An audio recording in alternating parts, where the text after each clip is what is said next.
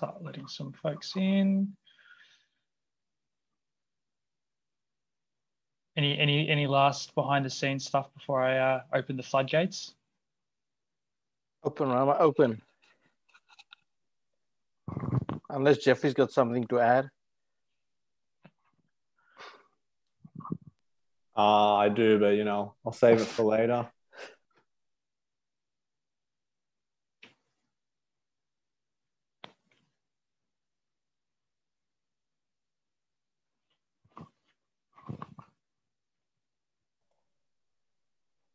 Welcome folks just joining us, just waiting as as people trickle in.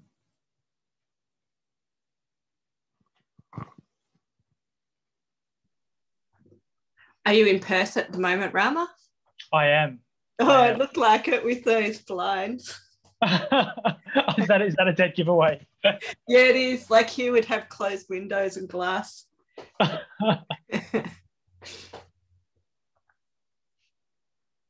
No, I think it's usually more obvious when when when all you folks in Melbourne are wearing scarves and and, and beanies and, and hoodies uh, on a, on a Zoom yeah. meeting. I'm wearing my singlet and and board shorts.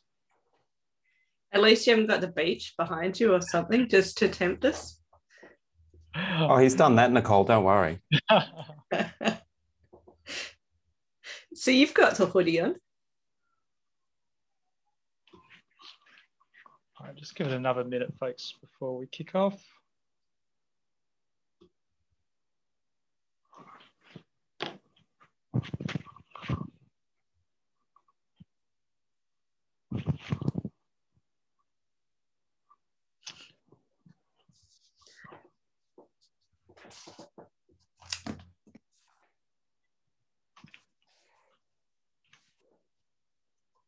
Right, folks, thank you and welcome. Um, firstly, I would just like to acknowledge the traditional owners of the land which I am currently on, the Whadjuk Noongar people, and pay respect to their elders, past, present, and emerging, and to further acknowledge the traditional owners of the lands that you are all situated on. Um, my name is Rama Agung Igusti, and I'm a PhD candidate at Victoria University, um, but also part of the Community Identity and Displacement Research Network, or CIDRN, uh, which hosts this series of seminars. Um, is a network of researchers engaged in investigating new diasporas and changing meanings of displacement and identity and asking new questions around such things as indigeneity, racism, forced migration, sense of place, social inclusion, social justice, transnationalism, and xenophobia. So these seminars invite a range of transdisciplinary and transnational voices to engage in discussion across these different areas and share some of the valuable thinking and research uh, that folks are engaged in um, from different places uh, and, and, different areas and, institutes. So just the note that these sessions are, are recorded um, and being shared um, in, in, other spaces uh, online and in social media places, just to, to let folks know as well. So I would like to welcome you all to today's seminar, which is entitled Changemakers, Enhancing Social Inclusion for Migrants and Refugees in Sport in Melbourne's West. Uh, this seminar will introduce Changemakers, a collaborative program led by Victoria University's Sport and Social Change Living Lab in partnership with community organisations and local government and aims to drive systemic change toward transformative social inclusion of migrants and refugees in sport and physical activity. Um, to share with us this work, I'd like to invite Professor Ramon Spaaij, um, who leads the Sport and Society Research Program in the Institute of Sports, Exercise and Active Living, and also holds a professorial chair in Sociology of Sport at the University of Amsterdam. Um, his work focuses largely on questions of social cohesion, conflict, and social change. I'd like to further introduce Dr. Carla Nascimento Luguetti. Carla's research and teaching has focused on topics of sport pedagogy and social justice, and over the last seven years, she's focused on understanding activist approaches within sporting contexts. Specifically, her line of research aims at co-creating a pedagogical model for working with youth from diverse backgrounds. And last but not least, I'd like to introduce Associate Professor Brent McDonald, uh, who is a Senior Lecturer and Research Fellow in the Institute for Health and Sport and a member of the Sport, Diversity and Social Change Research Group. Brent's research in the sociology of sport has concentrated on race, migration and identity, specifically contextualized within post-colonial Australian society.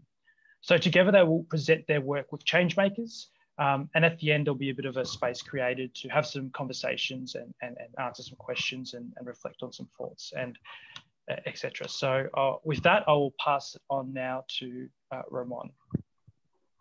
Thank you, Rama, for your introduction. Let me share my screen.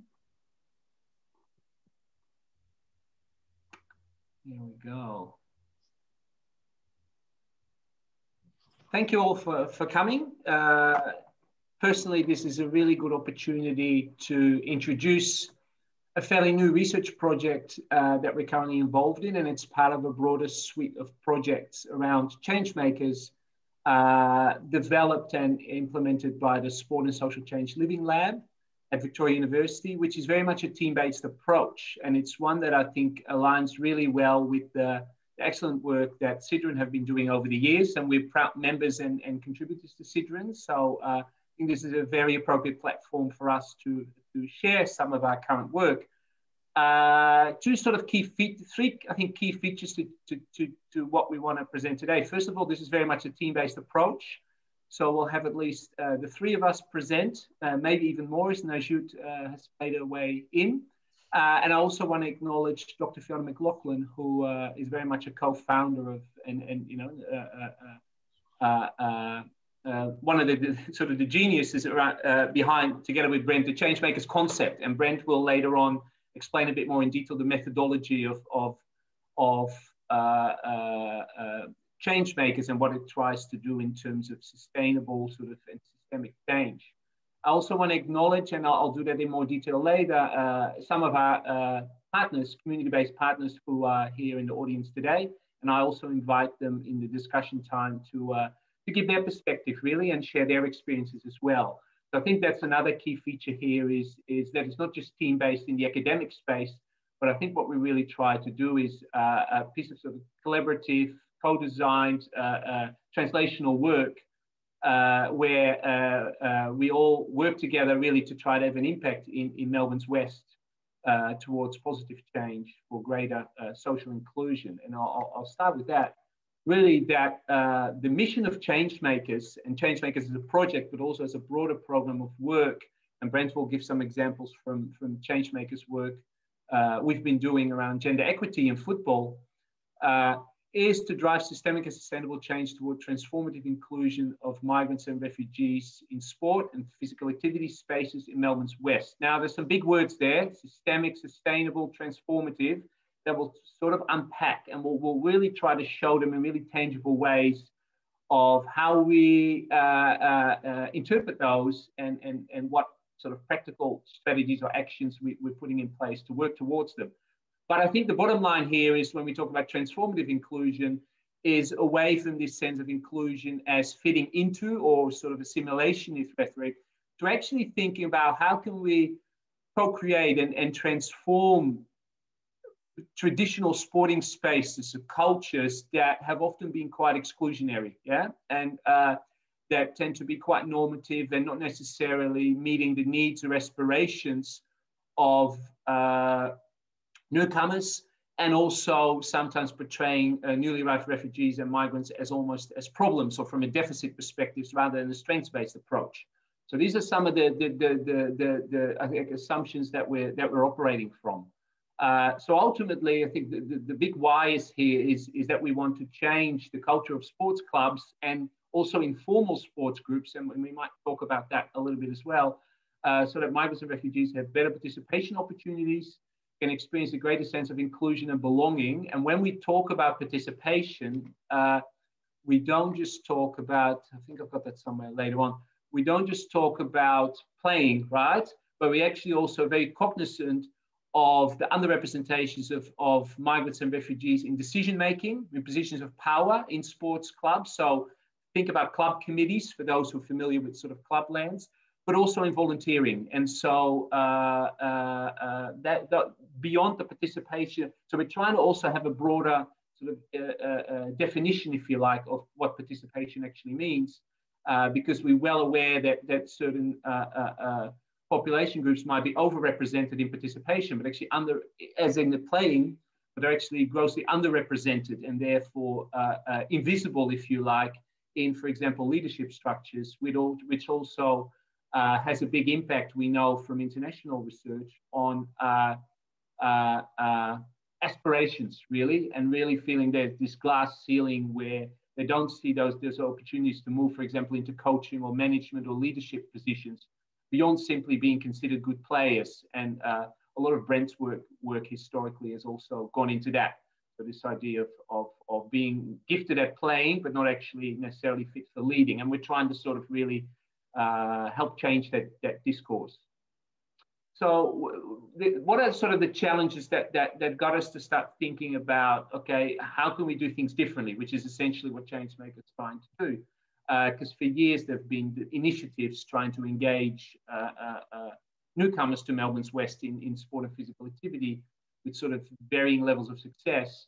Uh, first is that the participation rates in sport and physical activity are already low in Melbourne's West generally, and I've, I've given here an example of, of Brimbank uh, within the Victorian context, but that particularly newly arrived migrants and refugees are strongly underrepresented and, and experiencing some really persistent sort of barriers uh, uh, around cost and transport, but also really unfamiliarity with, with sports environments and opportunities, uh, uh, experience sort of exclusion or discrimination in, in, in sport environments, uh, and a perceived lack of sort of support, uh, particularly also for girls and women's participation. So really, sort of across the, the social ecological spectrum, we kind of see there uh, uh, some barriers that we, we, we actively try to sort of transform and, and, and, and, and work at through, through the Changemakers project. So what is the Changemakers project? So uh, we were lucky enough to uh, uh, establish a consortium approach where we're working in the context of this particular project with Volunteer West, Welcoming Australia, Brimbank City Council, uh, and Wyndham Basketball. And then the spin-off that uh, uh, Youth Changemakers that Carla will, will talk about with football empowerment and some of our broader work that I mentioned earlier with Football Victoria. And uh, collectively, as a consortium, we were able to leverage uh, two years of funding for this work uh, from the uh, Federal Department of Health. And that has sort of really been a catalyst to uh, uh, really now move forward with a broader suite of change makers work around so gender equity, but also around some inclusion of migrants and refugees in, in, in Melbourne's West, more specifically, particularly place-based so that is that is kind of where where that's at. And what, what we're doing in terms of the objectives is ultimately we're trying to create a community of practice, and that that is kind of based on uh, an ARC linkage project that uh, I led at Victoria University. That one of the things we concluded, and this was around diversity and inclusion in community sport, uh, is that uh, often the kind of uh, diversity inclusion work, or let's call it sort of the, the change agents, were what we call individual kind of champions or individual volunteers within clubs. And so, A, wasn't sustainable, but also wasn't institutionally kind of embedded. Yeah. So there was a work of single individuals who might leave, experience burnout, or have, you know, changing priorities in their lives. And then often that kind of work would fall by the wayside. And so, one of the things we found in that project that there was a real demand for what, horizontal learning and sharing, for, for, for learning from, from other clubs of how they might do things differently, and to almost create a space where they could be helped to kind of try new things and also to demystify some of the things that seem too hard or, or too daunting uh, because we don't want to get things wrong or we, we don't have the resources. We actually create a community of practice where there is sort of ongoing, sustained collaborative action uh, uh, uh, as part of a cohort. In this project, that will be a cohort of, of 60 change makers across four waves, and Brent will, will give some tangible examples, who we will work with, who are trained, mentored, and supported to design, implement, and evaluate their own projects uh, that are specific to the needs of their particular sporting context. And that might play out uh, and, and, and Brent will give some examples of that later, uh, one of the exciting things is that we kind of really don't know where that's going to go. Uh, and uh, it's very open-ended. So in some clubs that we've had interest from, for example, they might be interested in doing something with uh, uh migrants with a disability. For others, it might be more around girls and women with, with migrant or refugee backgrounds. And really so particular to where the club is at and where they feel they can do better to uh, provide for the community in, in sort of meaningful and, and, and, and, and appropriate ways. Uh, and as I said earlier, beyond participation as playing, it is also very much about enhancing the representation of migrants and refugees in decision making and in volunteering uh, in local sports clubs. And there are likely to be some clubs who want to particularly focus on that aspect, for example. So uh, you might not be able to read all this. I'm not sure how big you're, I don't know if anyone's on the phone, that will be difficult. But this is kind of what, what we went through a month sort of to come up with uh, sort of a program logic uh, together with the stakeholders and, and try to sort of co-create. So, okay, what is kind of a theory of change? What, what, what are we trying to do and, and how are we trying to uh, uh, uh, achieve these outcomes? And I've talked a little bit about some of the activities uh, uh, where we deliver guided workshops on inclusive sports programming, also on, on conducting social and needs analysis of the club environments, doing, uh, and, and Brent, I think, has some specific examples there, almost a 360 degree sort of critical analysis of the, the current situation that the club is in and using that as a basis for starting making uh, plans towards, towards change. Uh, educating and training mentors. Uh, we have uh, capacity for uh, 12 equity scholars, equity scholarships to be awarded, particularly to low SES and primary carers who want to join us as change makers. Uh, so essentially from 60 different sporting clubs or groups, uh, uh, we try to engage a change maker. So it's a total of 60 and each of them will, will develop and, and implement sort of a, an inclusion project in their own space. So this is kind of the idea of a ripple effect that we bring them in, we work on an ongoing basis uh, in a mentoring training capacity with them. Uh, and then they will implement things in their own sporting context and thereby creating opportunities for a larger number of people. So you can see here that, that idea of the, the, the ripple effect, uh, which, is, which is kind of an uh, underlying sort of philosophy that we have. So ultimately, what we, where we want that to lead is to increase improved community capacity to design, deliver, and evaluate uh, uh, uh sort of transformative inclusion in sport, increased adoption of best practice, so informed really by, uh, by evidence, by research, and also by professional experience that our partners bring from the stakeholders I've, I've mentioned, and an increased range of flexible community-based participation opportunities, so which where we can also see that, that, that for clubs, this means changing what they do, right? So this is kind of the more the, the two-way kind of uh, learning process where uh, uh, new opportunities are created in, in dialogue and through this uh, sort of sustained engagement in, in, in change makers. Uh, and in the longer term, as I said, so the goals there is, is, is are not just about increasing participation of migrants and refugees in sport, which is of course what the Department of Health would like to see, our, our funders, but also an increased sense of belonging. So for, for us, I guess it's less about the quantity, right? The, increasing the quantity of participation, but about the quality. So an increased sense of belonging, uh, but also an increased representation in decision making and volunteering. So actually where uh, migrants and refugees have also a greater say in how sport is delivered and how it is organized and how it is practiced in ways that are both meaningful and, and culturally appropriate with uh, hopefully attendance of health and social benefits.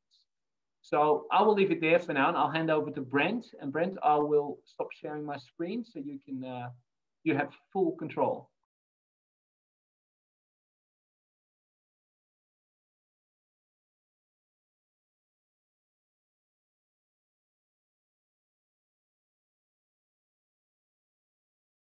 Thanks, Ramon. Um, I'll just share my screen now.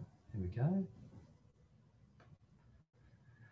Um, and we've got the PowerPoint back up. There we go. So uh, what I'd like to talk about uh, just briefly um, is to give an explanation of the methodology for the Changemakers framework. Um, and really the methodology actually uh, sort of emerged from um, teaching. So it has a real, uh, it has its origins in units of uh, study that uh, both Fiona and I have been teaching uh, at VU, in my case, for 13, 14 years. Uh, and what we found was that in the sports space, as we go through all the literature about um, uh, issues of, of participation and issues of power and inequity uh, marginalisation, racialisation, and these sorts of issues that occur in sports spaces, um, we find that the research tends to repeat itself every every five years. Uh, there's not a great change occurring in those spaces. And so we started to design um, uh, assessment tasks for students that tried to get them to critically engage with their own sport and physical activity space uh, from a kind of critical sociological perspective. And we tried to give them some methods to, to use that would give them a better idea or see their space in a different light and then get them to come up with some solutions. A really simple package. And what we found was this was actually quite powerful for, for a lot of our students um, who believed that their spaces were inclusive in whatever way. Uh, but actually, once they did some critical research, they found actually, no, they're not very inclusive because of X, Y, and Z. And so this was a, a, you know, a contained unit of study. But through discussion, uh, Fiona and I kind of started to think about how do we take the teaching into the public and work in community sports spaces. So we're working from a proviso that most every person I've ever met in a community sports club believes that sport should be for everyone and uh, they believe in equality and diversity and these sorts of things. So this is their their their sort of um, belief position, and they think that they do that. And so what we try to do is work with uh, these um, these uh, these these sports spaces to try to actually give them the capacity to achieve the things that they think they want to achieve. And so rather than talk about Changemakers West today, I want to talk very briefly about uh, Changemakers um, Football Victoria project, which the reason why is because we've actually done it. And so I can give you a really clear uh, sort of summary of of how this process works. Now, just to give you the background or the context, Football Victoria put in their annual report two years ago that by 2027 they wanted to achieve 50 50 um, gender equity in the sport. Now, that very unusual statement to see in a sport uh, space, and particularly considering that at the time that they made that statement, they're actually about 20% 80%. So they're way off 50 50 to start with in terms of male and female participation. So it's heavily masculinized space at all levels. Um, and but their goal is 2027, we want 50 50. So we'll, I'll just explain how this has worked with Football Victoria and then it's all about understanding what you want to achieve and then working from there to how do we support uh, sustainable change in those sorts of spaces. Um, so, so first off, as, as Ramon said, it's about establishing a, um, a community of practice. And so I'll just share with you, uh, there we go. So for example, with Football Victoria, uh, we managed to get a small grant from uh, the Change Our Game um, program at uh, the in the, the, Victorian state government, and that allowed us to to run uh, this first Changemakers project with um, Football Victoria clubs. And so what happened was clubs were asked to nominate uh, a person from their club to come along to work in the program and help uh, develop strategies or whatever to achieve the 50-50 goal. And so we start off with something like this. So we develop a community of practice and we get our, our people, for example, you know, kind of get it. It's kind of nice looking at these people because we know them so well because we've spent so much time working with them. Um, but you know, we get them to write a bio to start with, a buy-in uh, statement, an affirmation of why this is important to them. And each person's perspective and background is different.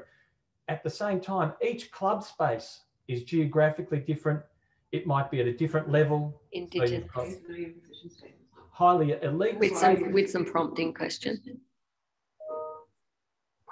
Uh, yeah, we've got some highly elite spaces. We've got junior clubs. We've got different spaces uh, around the uh, uh, around the sport. But you can see here someone like Rad Miller, who's amazing and did some amazing work, is coming along to be part of this. And she writes a bio of why she's interested in, in being involved, her engagement with it, and, and what that might look like. So that's our first thing is to develop that community of practice. And we can see some bios here um, and, and this sort of um, building a, a, collective. So that's our, our first step along the way. Now, once we have um, our, our collective, our buy-in, um, we go through an, an exercise. So all of this occurred during COVID. Uh, we managed to run this program entirely during COVID, uh, during, during the, the horrendous second lockdown. Um, and we actually found that Zoom was, in this situation, very useful because it allowed us to create community practice from people in Sale, in Albury Wodonga, in Ballarat, and in Altona. Uh, so we could get this amazing cross section of football clubs involved. So then the first thing we do is we we we go through what's called an extinction exercise. Again, this is something I do we do in class. Extinction exercise is essentially your goal is to achieve 50-50. Um, okay, so therefore what we want you to do is we want you to think about and give us the conditions required to get to zero 100. So let's go the opposite direction. So in this situation, uh, because we're based on women and girls in this particular study, how do we get make sure that there are no women or girls involved in football at all in by 2027? So we flip it around and we get people to think about the conditions that would be required to achieve this. All right. And this, maybe some of you have dealt with this methodology before. It's not particularly uh, unique. We didn't invent it. I got it from an environmental um, workshop. Uh, so it was about um, climate change and uh, sustainability of the Asian elephant.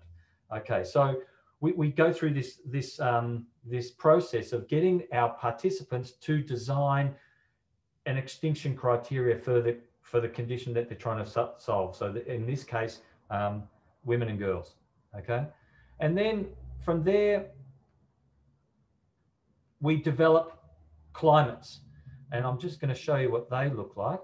Um, now, the climates is based on the work of Pat Griffin. Pat Griffin um, is a professor from the United States who spent most of her career working on uh, GLBTI uh, inclusion in, in organizations, particularly in university and college sports in, in the United States. And Griffin came up with the idea of climate. So her, her concept of climates was that there were hostile climates, there were conditionally tolerant climates, and there were inclusive and supportive climates. And she came up with these criteria for what would be a hostile climate, what would be uh, a conditionally tolerant climate, and what would be an open and inclusive climate. And so, based on our particular goal, which is 50 50, well, let's see what we do. So, this is a this is so what we do is we co-create with our participants. The extinction exercise essentially gives us what would be hostile. Okay, and because we know the research, we kind of guide them into thinking about three different criteria. In the case of this one, we think about the theme of access, we think about the theme of representation, and we think about the theme of experiences. So essentially, we get our participants to design, and what you see on the screen here It's eight pages of climates designed by our participants. Okay, and so you can see, for example, um, as I uh, move down the page, if we think about, um, here we go, um, female coaches. So a hostile climate would be with no female coaches at any level. And then conditionally tolerant, there's a few female coaches, but only at the junior space. And then the uh, supportive and inclusive climate would be 50-50. And so once we design this process and we, we do it across, um, we can do it with our representation. So representation would include things like um, uh, the numbers in terms of participation. It might have something to do with things like wages. It might have to do with qualifications. Uh, we can, and this is all designed by our participants, mind you. So they've come up with these um, criteria, and it might have to do with other aspects. And finally, we have their experiences, and we can see here they design these things. So, for example, attitudes to females, general club attitudes, and we got the hostile climate at the top, conditionally tolerant, and in, inclusive and supportive. So once we've co-created this with our change makers, we then move to the, the next step. And I'll just quickly get you through to that one I know we're time poor. So then we get them to perform an audit of their club. And in particular, this means how do you audit your club? Well, you need methods. And we therefore do a methods workshop where we uh, uh, move through a range of methods that you could use to know your club in a different way than what you know at this point in time. Um, and importantly, this is where our mentors become really important. So that the Change Makers program is about mentorship as well. So in the case of Football Victoria, we have um, about 10 uh, uh, mentors, mostly who are students at Victoria University who have shown a real interest in gender equity. And so we say, okay, they learn the methodology and then we assign them to clubs to help get the evidence. Okay, and so then this would look something like this, um, where we have our criteria and we get the clubs to basically go through the criteria and say, okay, in relation to this uh, registration methods, uh, where does your club fit? Um, and then we make sure you have to have evidence to back this up. And that's, like I said, where our mentors help get that evidence. Now, that might be um, us, our mentors, providing a, an analysis of their social media. It might be co creating a survey to give to members. Uh, it might be going on site and, uh, and, and being at game day and listening for the language that's on the sidelines. Uh, it might be running a focus group with senior women at the club. A range of methods that we would use in any sociological sort of research project that we actually provide as a support to these people. Realizing that they probably don't have the time or the expertise to do it themselves, but if we do it with them and we provide that expertise, we have greater capacity for achieving these things. So you can see here, our clubs have to do a fairly strong audit now, some of these will not be relevant to every club, so they can just put not relevant. And some of them, they won't be able to know the answer. But the key thing is we produce this, and this is something that all of our change makers that you saw on the screen before have gone through and done. So they've come to empirically know their space in a way that they didn't know beforehand, and often with enormous surprises that they weren't expecting. Now, the important thing is this is not just a deficit approach. We're also looking for inclusive and supportive. This is a really important thing. Many clubs have lots of uh, uh, criteria that would be in the inclusive and supportive space. But an action might be required there, as we can see here, to maintain that. What, what is the strategy to maintain these things? So we, we work along, we say there's priority, and we think about possible strategies which is where the last part of the methodology comes in. And we design strategies. Again, this is the co-creation, working together in our in our, our Zoom groups. We go into our breakout rooms, usually about five clubs per room, and we work through the evidence to co-create a strategy based on a theory of change model, um, which looks a bit like this. where we really systematically work through understanding the activities that might be required, the inputs, the external factors that might be in place, and we create, co-create those strategies. And we encourage those clubs then to attempt to implement some of these strategies and we continue to support them through those implementations. So the whole idea is did the strategy work? And so that's a measurable thing that we look to uh, 2022, 2023 to maintain connection with our change makers um, to ensure that we have a, a good sense of, um, of, of the success or, or not of, of these strategies. So in a nutshell, that's the method. Now, when we look at Changemakers West, we can adapt this method to whatever these clubs are wanting to achieve. So obviously the the the um, the statement is the inclusion of uh, uh, recently arrived migrants and refugees within Melbourne's West within these sport clubs. But as Ramon, Ramon said, this might involve different forms of intersectionality. It might invo involve, um, for example, women and girls, like Ramon said uh, before, or um, older people, or uh, ability disability, however that might work. And so following this same method, we can then co-create, design, evaluate, and then work to uh, changing those spaces that become part of a sustainable change. And the key thing with the sustainability is the support that we provide uh, through through the process. So this ongoing support is really important. Um, last thing to suggest is that the community of practice is the design is about creating solidarity between clubs and sharing knowledge.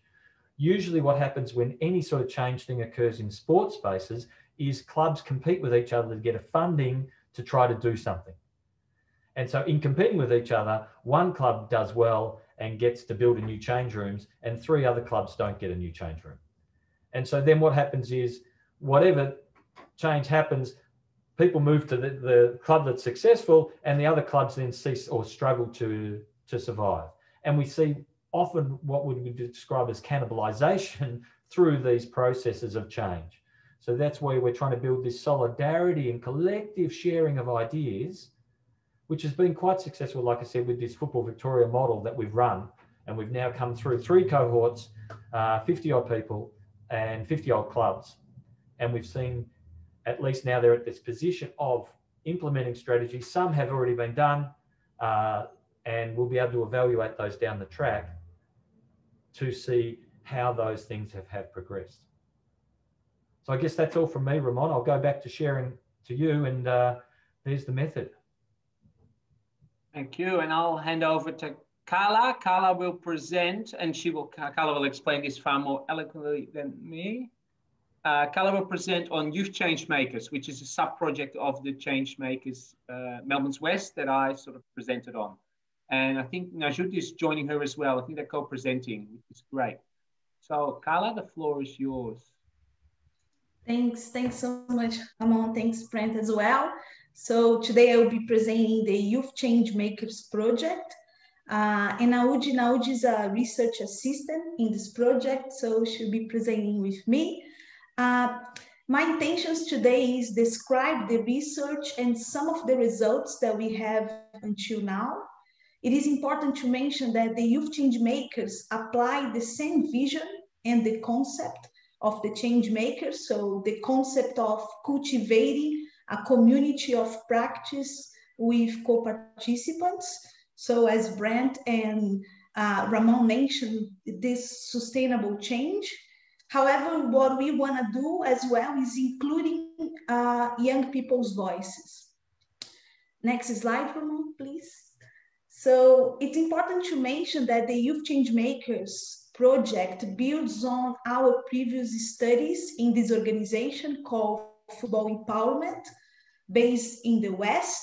In 2019, we developed a six-month participatory action research where we worked with a group of 13 African Australian young women and five coaches as co-researchers.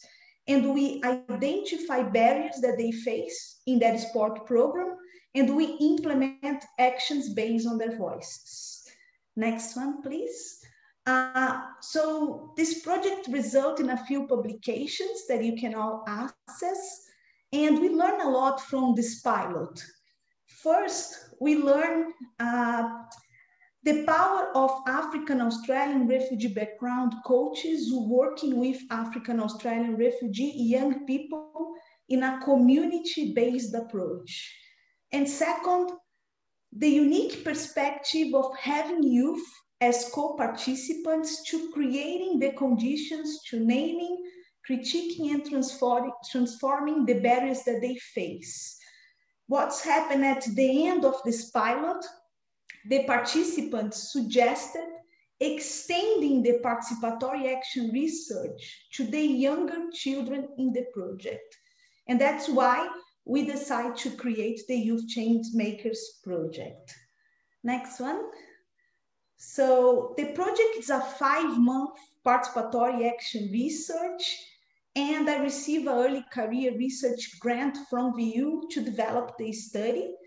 For this project, we have three young women from the previous intervention working as co-researchers. And we also have Naudi. So they study focus on the younger boys, the young boys in the program. Next one, come on. So in terms of methodology to listen and responding to young people's voices, we are using a student-centered Inquiry as curriculum approach. It is a process of working with young people, and it is as well a way we are using as a framework for data collection. We are collecting multiple data sources and, for example, field notes, collaborative meetings between myself and the co-researchers, all artifacts that the boys are producing, and a final focus groups as well. And next, please. And to explain a little bit, you know, what we did until now, I wanna invite Naudi to be on board. Yep, thanks, Carla. Um, hi, everyone. Nayud. I'll just give a, yeah, brief, it'll be pretty brief, but um, so um, with, we spent like seven weeks um, creating um, yeah, co-creating the research, thinking about our mission, the visions, um, what we want to ask, and all that stuff, and also speaking about like what our biases are in terms of what we want to find out um, as well. Um, and so, can you go to the next slide? Yeah, so just this slide just speaks about um, the co creation of the logic map and the co-design of the methodology. Um, you can look at it and then just the next slide.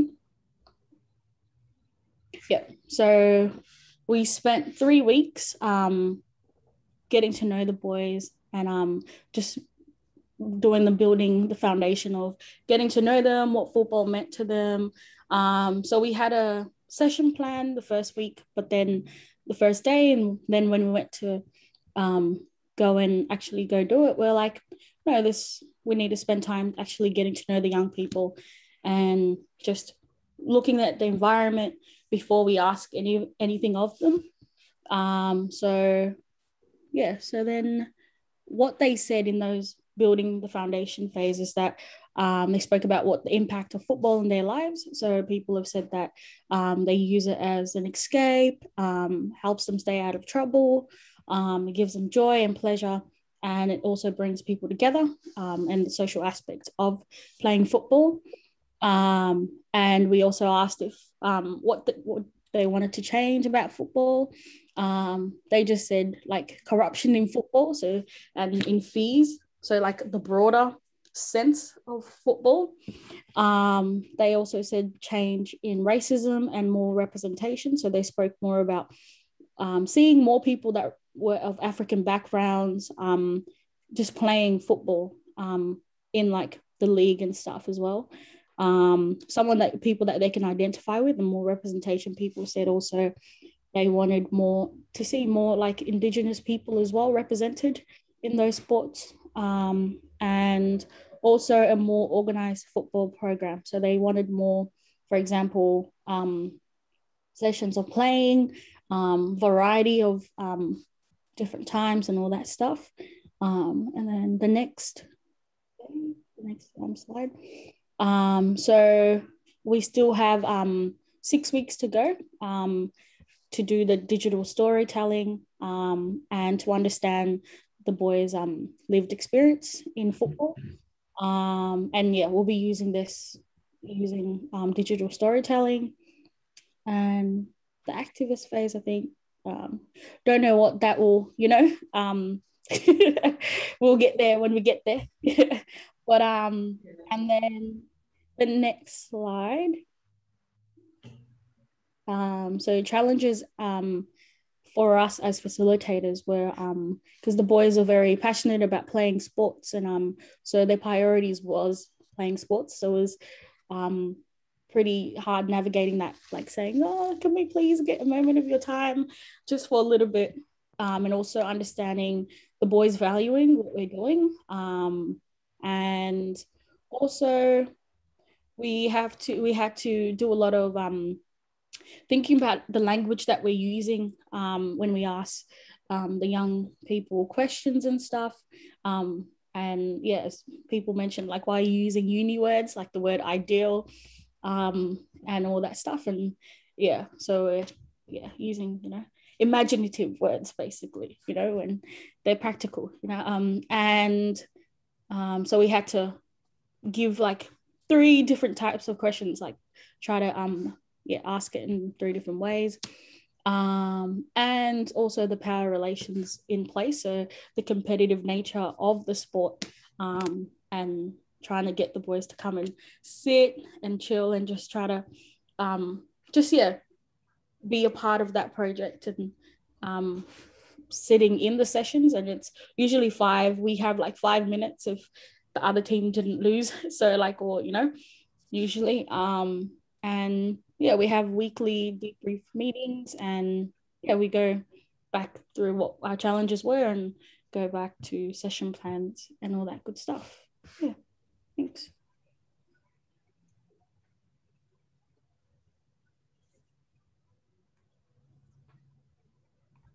Carla, do you want to leave it there for now, Nayut? Yeah? All right, yeah, so look, I'll, I'll just round off and then we'll open it up. I know that's a lot of information. What we try to do here is almost give sort of a, a tour de force, sort of a quick sort of uh, overview of some of the different things around this Changemakers banner. So we have the, the, the new sort of uh, uh, ongoing project uh, with newly arrived migrants and refugees in, in Melbourne's West uh, in this consortium approach. Uh, we have, Brent had some fantastic examples, really tangible sort of how this methodology works, uh, building on the work that Brent, Fiona and, and, Carla have done with football in particular around the 50-50 objective. And then from Carla Nayut, we've uh, heard from the ongoing uh, Youth Change Makers, which is sort of as a, as a sub-project uh, uh, that has this particular sort of methodology working now, particularly with the with the, the younger the younger children sort of in the program, particularly boys, whereas the first project focused particularly on the girls and the young women. So I guess we'll, we'll leave it there. I also uh, really invite any questions, ideas. I should also say, because these are ongoing projects, we're really keen, sort of, anyone has ideas, feedback, critique, also those from from from some of you know uh, people in the community and from the different different uh, uh, local government areas that we work in. Please feel free to contact uh, me or one of the other team members. we really value that, and I also really want to invite our partners if they have anything to add as well, sort of from their perspective. So, but Rama, other than that, I'll let you I'll, I'll hand that control to you because I realize it's your show now. Thank you. No, no, all good, all good, Ramon. Th thank you very much, Ramon, Brent, um, Carla, and Yayud for, sharing um, some of this yeah important participatory work. Um, and yes, I, you know, I'd like to invite um, anybody to to share some some questions or, or reflections or thoughts that they they might have. And, and also maybe Ramon, if you wanted to share your email address, perhaps in the chat for people, um, if they want to have a grab that. But yes, please, any, any questions or, or comments from folks, I, I invite you to, to share.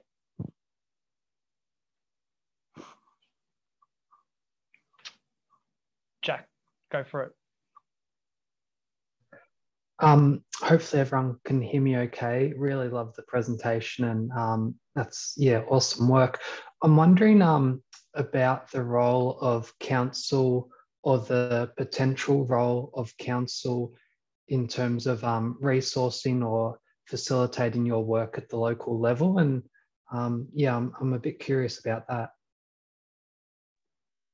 Yeah, Jack, I'm happy to respond to that. Uh, so Brimbank City Council are one of our partners, and we also have a sort of pretty close working relationship with Wyndham City Council, even though they're not formally partners. Uh, uh, so uh, both Brimbank and, and Wyndham, for example, play play a role, I think multiple roles, one is uh, really important roles around the recruitment of the change makers. So councils have a pretty good handle on uh, their sort of clubs and informal sports and physical activity groups in the area.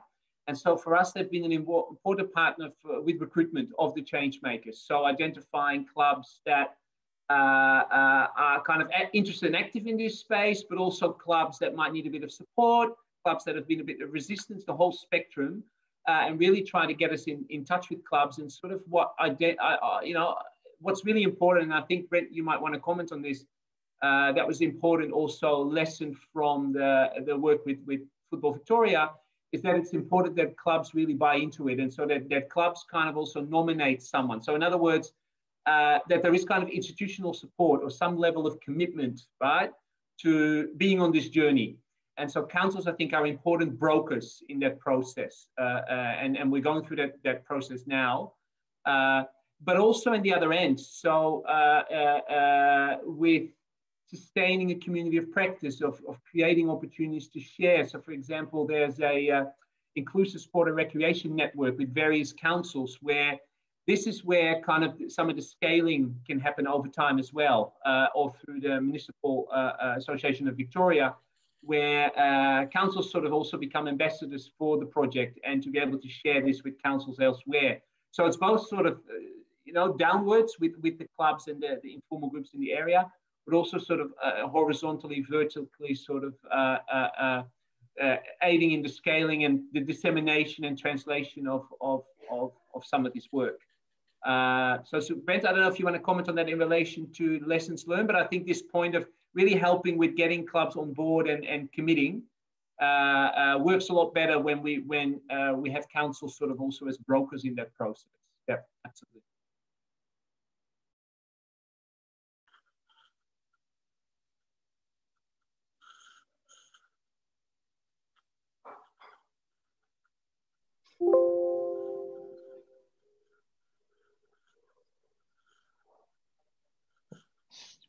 Sam, sorry, I didn't see your, your hand raised there. Thank you.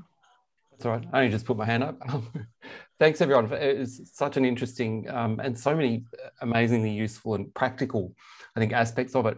Um, but I'm interested, in, I guess my questions main, mainly for Brent around the, the, the idea of that audit um, and those sort of indicators and how you see the ongoing relationship between the university and, and the clubs to maintain those audits and, and, the data? And is there an ongoing relationship between you and the, and the collection of, of data? Uh, so one of the things we did at the very beginning we said it's not our data, it's the club's data. We don't want to own, and it's not. I guess we're working with Football Victoria. So Football Victoria have got a, a an investment in this idea of being uh, 50-50 um, uh, for whatever reason, and it like it's very unusual in sports spaces to see any organisation explicitly do a 50-50, especially when they're so far away from it. So this kind of, we can be a little bit skeptical of some of the motivations, but we can go to the clubs and we can say, we'll help. It's your data. If you want to share it with us, we'll we'll, we'll work with you with it. Uh, it's for you to, to, and so sometimes clubs find things that they're not overly happy with, but also it's theirs. um, uh, it's it's not about in fact, in many respects, the research element of this particular project for us is actually trying to understand the complexities of change as opposed to understanding more barriers or facilitators or any of that stuff. We already know that and not really, it's not for, that's not what we're about. And we're quite clear about that. So if we make a survey, it's their survey. And if they want to share that data back with us because they want some help uh, interpreting it, then we'll provide that assistance. Um, and I guess you know, we are committed. You know, I'm I'm a public servant, Sam. So you know, I I have a research allocation, and this is what I'm committed to doing for as long as I get a research allocation. So um, you know, I'm in, I'm invested in this, and the great thing is we have these students who are so many, particularly young women who come through sport and exercise science, are committed to gender equity, but um, have you know they are similarly frustrated, and they also you know through this process they become change makers in their own spaces so there's an there's a multiplier effect through the engagement with stu- students who might not come from a football background they come from another sport but understanding the complexity of, of why change is hard uh, and, and then trying to work out where are the easy wins and where are the long-term ones. And so part of our, our plan is definitely in terms of assisting clubs or assisting, you know, don't go for the, the, the hardest thing first because you're going to hit so much resistance. That's going to be, it'll be catastrophic and it can be really, actually really harmful for, for people. Um, so how do we then st- strategy is also about well how do you step that way and you know we've got 2027's that goal period so you know in a six year period how could you provide that ongoing support um, and and the support is you know we, we just need to get uh, we keep on getting enough funding for the to, to pay the mentors. So the mentors are all paid. We, is not about free labor classic thing about gender equity is always it relies on free labor uh, this is not free labor all of our mentors uh, are uh, you know are on an RA or HEP three one or something like that, uh, whatever it is. so therefore, their work is rewarded, and therefore they they the sustainability comes through the fact that it becomes a job, um, and their job is to help that club, and and they developed really interesting relationships with these people. Um, and clubs just love to find someone who's willing to actually support them uh, and actually come out. So, you know, I love going out to clubs. Get down to training, uh, have a look around, you know, be a face there. The, the, the, tangible, so going from Zoom, but actually being in those spaces is really important too. So, uh, I guess that's a commitment. And, and like I said, that's my job. So I should do my job, right? that's great. Thanks. now, now I'm just conscious of time, but perhaps I've got time for, for one more question or comment if, if there are there are any out there.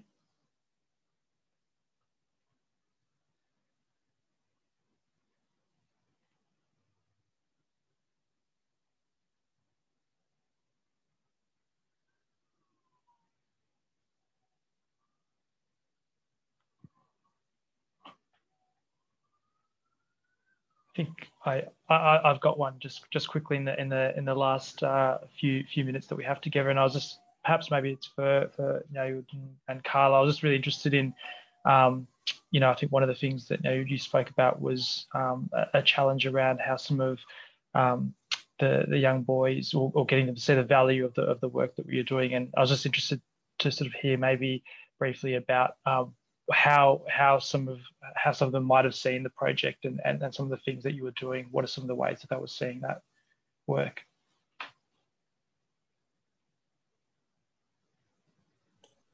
Yeah, I, I think I can start now, and you can help, please. Uh, yeah, so one of the challenges it is because they are there to play. So how can we, you know, stop and listen to them and we also know that the kids start to value uh, the participation in participatory action research when we start to respond to their voices. So we went there like three weeks. So we know that will take time to them to start to value this process. Uh, I think as a as a facilitator, we have you know coaches on board, uh, and that's something that's helping us. But I think the whole environment and the competitive environment is a challenge for us, has been a challenge for us. I think they, they are changing now a little bit, but yes, it is still something that, yeah, we have to keep doing. And I think as, as much as we can, because they, they have lots of things to say, but we have to help them in terms of language because it was mentioned and i'm learning you know what, what kinds of questions should we ask so we we spend lots of time in our weekly meetings planning to the upcoming you know data collection with the boys but sometimes it works sometimes it's not so i think it's a, it's a matter of time and building relationships with them and finding the language so I'm really excited to see if, you know, using digital technology will help in this process of finding the language. Yeah. Nauj?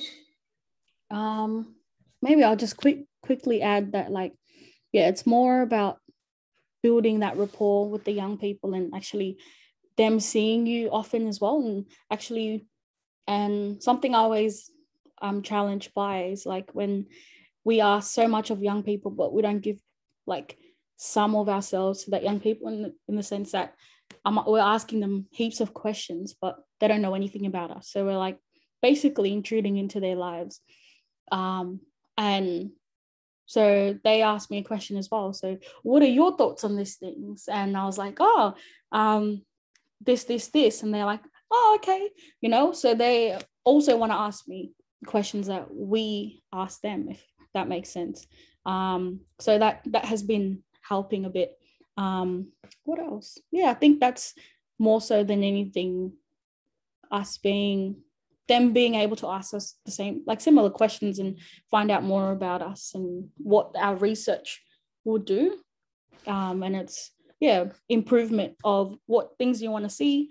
Um, uh, is there immediate thing? It might not be because there are structural stuff as well. So it's like they see that but don't really if that makes sense. So it's like can't name it but it, they they have an experience of it. So it's also using that language to help them navigate that um so yeah so that's yeah, yeah.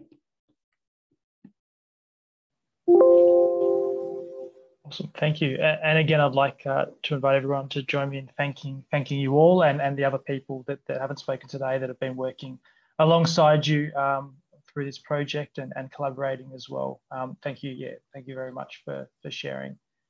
Um, and just a reminder as well, I think Ramon shared uh, his email in the chat uh, as well for people that are wanting to, to connect and contact. Um, and I'm just going to share as well the website for CIDRN um, so folks can keep an eye out for some more seminars and some more of the work that we're doing across the, uh, the network. Thank you. Thanks, Rama.